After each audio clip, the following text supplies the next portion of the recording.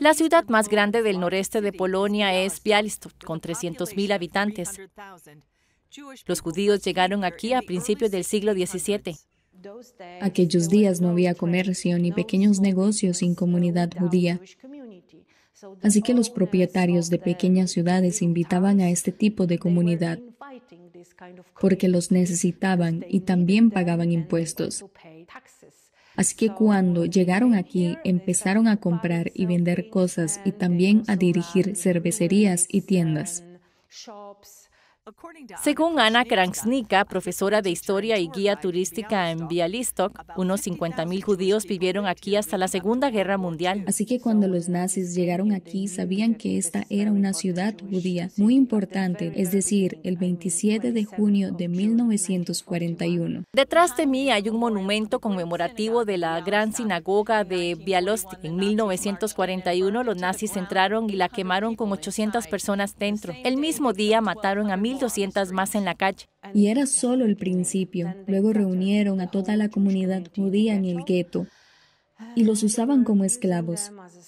Trabajaban, trabajaban duro. Era la época en que esa gente se moría de hambre allí pero aún así tenían esperanza de sobrevivir. A pesar de un levantamiento dos años después, los nazis llevaron a casi toda la comunidad a Treblinka y allí los asesinaron. Después de la guerra, unos 300 judíos regresaron a Bialystok e intentaron vivir aquí. Los comunistas dijeron que todo el pueblo judío debía ir a Israel. Así que las últimas 120 personas o algo así abandonaron Bialystok. Hoy viven en Bialystok unos 20 judíos, sin que ninguno tenga raíces familiares judías en la ciudad. Sin embargo, hay un movimiento redentor. Ania dice que la gente de su ciudad quiere asegurarse de que no se olvida la historia judía. Tenemos un camino especial. No somos antisemitas. Queremos demostrar que recordamos y que la parte judía de la historia de Bialystok es tan importante como las demás.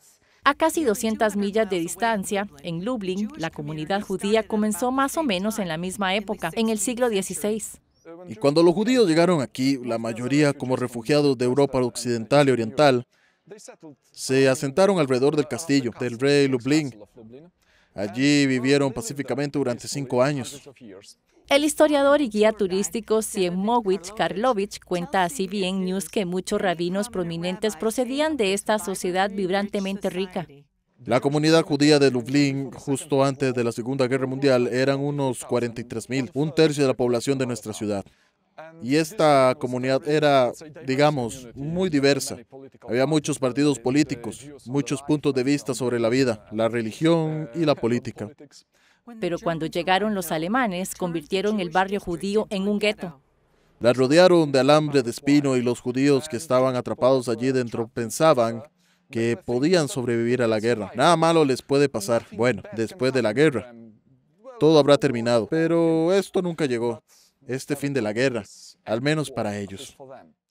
El edificio de mi derecha era un orfanato judío y una residencia de ancianos. Cuando los nazis exterminaron el gueto de Lublin en 1942, asesinaron a los 200 niños, a los ancianos y a los cuidadores de niños que se negaron a abandonarlos. Llegaron las fuerzas de la SS y empezaron a echar a la gente de sus casas llevándolos a la plaza cerca de la sinagoga. Y la gente judía no resistía porque, bueno, eso nunca había ocurrido antes. Esto fue el primer gueto del mundo que fue destruido durante la Action Reinhardt o el Holocausto, que era el nombre en clave alemán. Casi todos los judíos de Lublin murieron en el campo de exterminio de Belzig. Sabemos que sobrevivieron unas mil personas, pero ahora mismo la comunidad judía de Lublin es de unas 50 a 70 personas. Y nadie, ninguno de ellos habla Yiddish, el idioma que era tan prominente en el distrito judío antes de la guerra. Ahora los polacos de Lublin cuentan muchas de esas historias a la comunidad internacional a través de la institución cultural teatral Krotzkat Gate.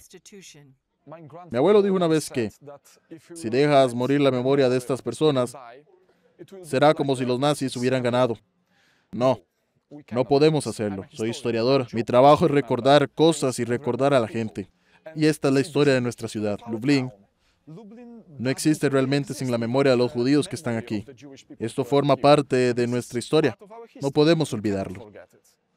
Al crecer bajo el régimen comunista, Kepnovich dice que no conoció la historia judía hasta el instituto. Ahora él y otros esperan cambiar esta situación, incluyendo la historia judía como parte de la historia de Lublin que te enseña en la escuela primaria.